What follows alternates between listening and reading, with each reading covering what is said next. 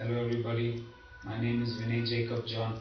Please visit my gospel website, jesushealsministries.org, and also please visit my friend's website, Evangelist Jesse Duplantis. His website is www.jdm.org. Today we're going to read about blessings for obedience to the voice of the Lord, Jehovah Jesus, Holy Spirit.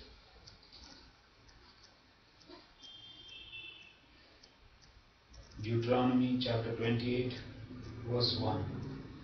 And it shall come to pass, if thou shalt hearken diligently unto the voice of the Lord thy God, to observe to do all his commandments which I command thee this day, that the Lord thy God will set thee on high above all nations of the earth.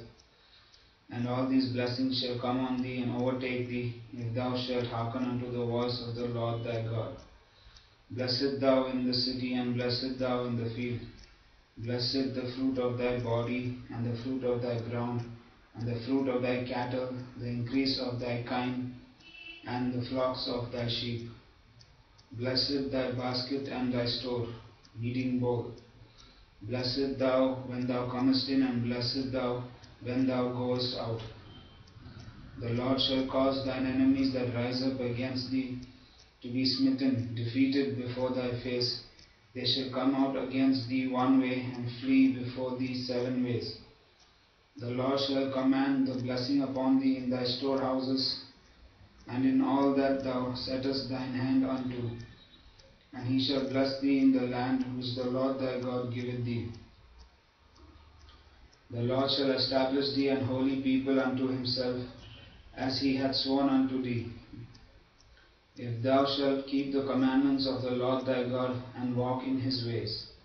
And all people of the earth shall see that thou art called by the name of the Lord, Jehovah Jesus, Holy Spirit, and they shall be afraid of thee. And the Lord shall make thee plenteous in goods, in the fruit of thy body, and in the fruit of thy cattle, and in the fruit of thy ground, in the land which the Lord sware unto thy fathers to give thee. Our fathers are Abraham, Isaac, and Jacob. Jacob later became Israel.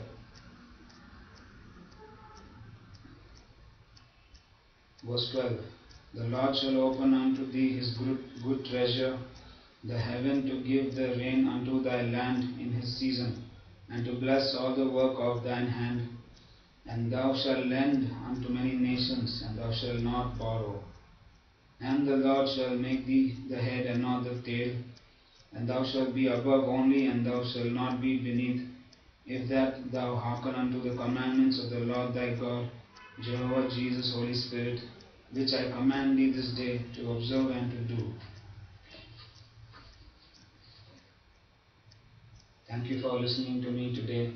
Jesus loves us all, Jesus heals us all, Jesus provides for us all, always. In the name of Jesus Christ of Nazareth, Amen.